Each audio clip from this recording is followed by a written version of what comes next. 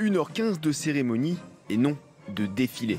Cette année, en raison du Covid-19, le 14 juillet sera un petit peu particulier.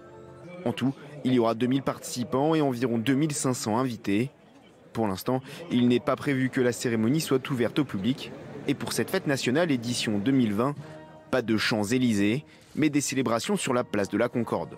Plusieurs tribunes vont y être installées pour accueillir tous les participants. Une place de choix est réservée aux soignants. Quatre gradins leur seront destinés autour de la tribune présidentielle. L'idée cette année est de rendre hommage à toutes les personnes qui se sont engagées dans la lutte contre le Covid-19, l'armée y compris. En revanche, si la tradition du 14 juillet est un petit peu bousculée, celle du défilé aérien est bien maintenue.